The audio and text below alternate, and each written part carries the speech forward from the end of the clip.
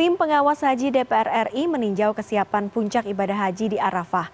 Tim menyoroti fasilitas kesehatan, tenda, kasur, dan toilet yang dinilai tidak memadai. Tim pengawas haji DPR RI bergerak ke Arafah pada Kamis siang. Tim yang dipimpin Wakil Ketua DPR Lojewik F. Paulus ini berkunjung ke salah satu tenda yang berkapasitas 360 orang. Namun saat dicek jumlah kasur yang ada di sana hanya sebanyak 330 unit. Kasurnya pun dinilai sangat kecil. Di fasilitas toilet juga ditemukan adanya ketidaksesuaian sekaligus tidak ramah lansia. Fasilitas kesehatan juga dinilai tidak memadai. Untuk melayani 213 ribuan jemaah, kasur yang tersedia hanya 30 unit.